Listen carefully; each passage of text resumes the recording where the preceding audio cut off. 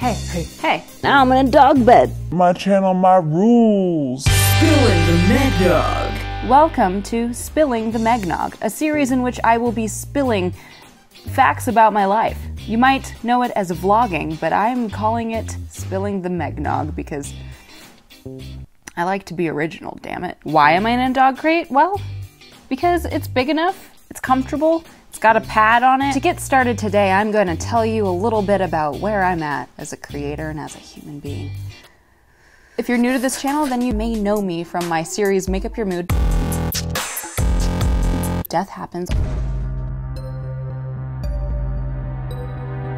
Or Monster Brain.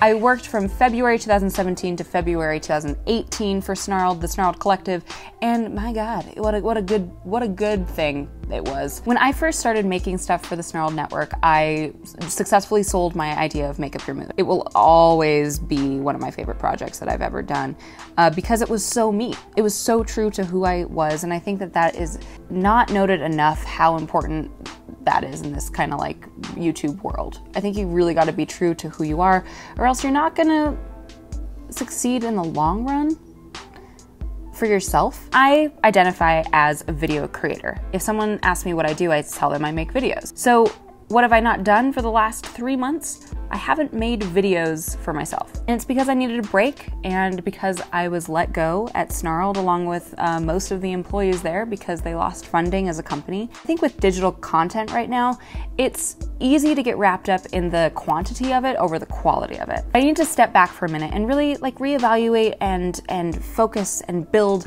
on what my intention is as a creator because I think I'm interested in so many different aspects of different art forms that I do get kind of confused and spread out, and I, am like, where's my identity again? But what I always come back to is I always come back to video creating because I love it. Video editing has been uh, one of the most effective ways that I can express my creative voice to the world, and I really like that. So it's something that I'd never want to let go. In addition to that, I would say that uh, transformative makeup art is another thing that I always like.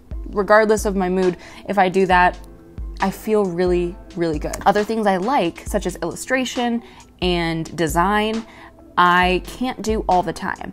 And when I was making Monster Brain for Snarled, um, I, I, realized that. Not only was I having to draw a finished thing every single week, but I, I, it was all about the struggles that we deal with in our lives. And I'm such a sensitive emotional baby that I think drawing about struggles and kind of consistently being existing in that like upset mindset throughout winter was really rough on me. And even though losing Snarled was sad, I, you know, I needed a break. And it, it kind of timed out perfectly, and the universe works in weird ways like that.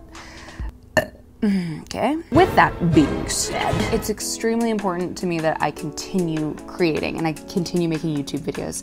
I might not be getting paid anymore, but that shouldn't matter. Right now, what I'm really interested in is just inspiring creative self expression and confidence through creativity. What you can expect from me in the upcoming future is more edited videos that probably will revolve around makeup comedy, uh, miscellaneous creativity like painting and drawing. I've been really interested in uh, designing fashion accessories like little like patches and stuff like that.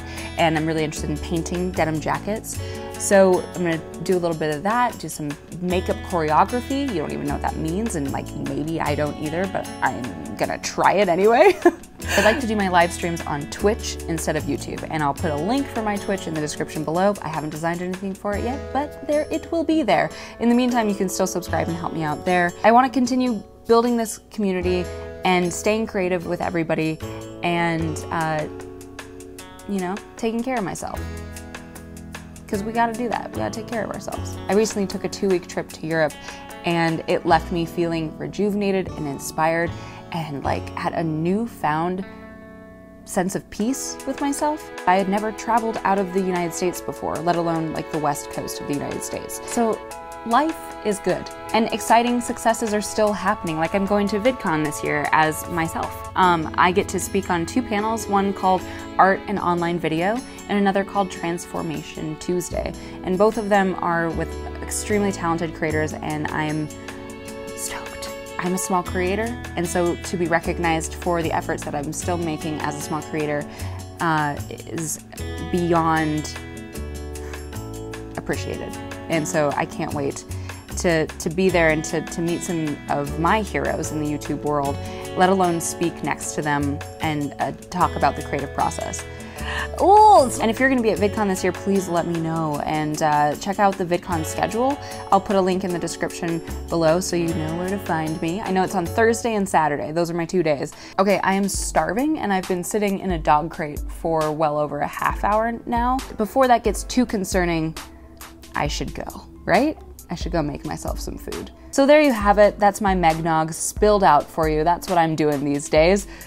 Megnog, is that gross?